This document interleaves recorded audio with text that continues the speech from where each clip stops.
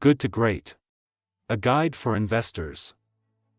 Good to Great is a concept popularized by Jim Collins in his book, Good to Great Why Some Companies Make the Leap. And Others Don't. The book explores the reasons some companies are able to make the transition from being merely good to truly great, while others cannot. For investors, understanding these principles can offer valuable insights into evaluating potential investments and recognizing long term potential. The five key concepts.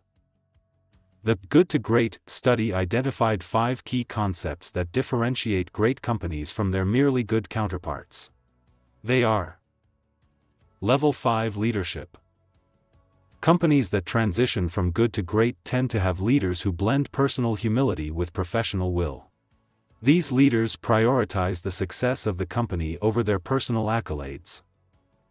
For investors, when analyzing a company, consider the character and track record of its leadership. Look for humility and a long term commitment to the company's success. First who, then what?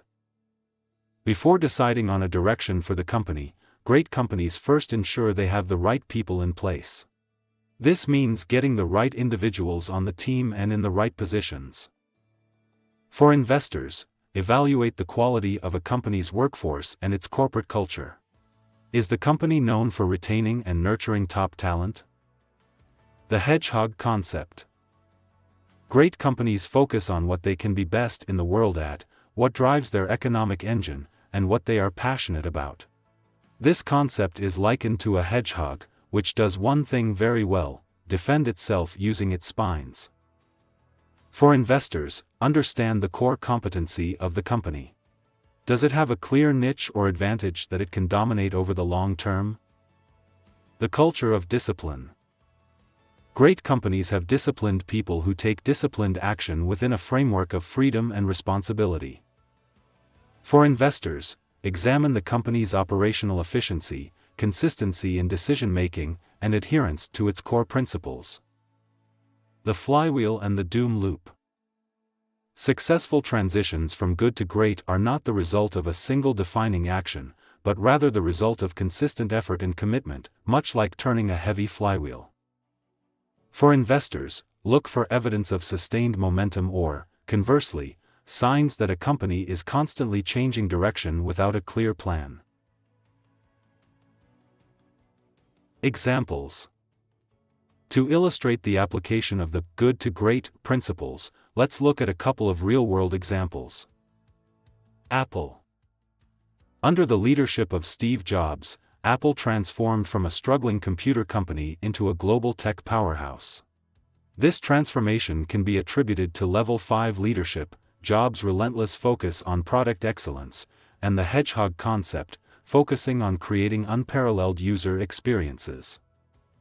Southwest Airlines This airline, under the leadership of Herb Kelleher, exemplifies the culture of discipline and the flywheel concepts. Southwest consistently focuses on operational efficiency, leading to low costs and high customer satisfaction. Their success didn't happen overnight but was the result of consistent efforts over time. For investors, the Good to Great framework offers a unique perspective on evaluating companies' potential for long term success. By focusing on leadership, team quality, core competencies, discipline, and momentum, investors can identify companies poised to make the leap from good to great, potentially resulting in significant returns on investment. As always, it's essential to conduct thorough research and consult with financial professionals before making any investment decisions.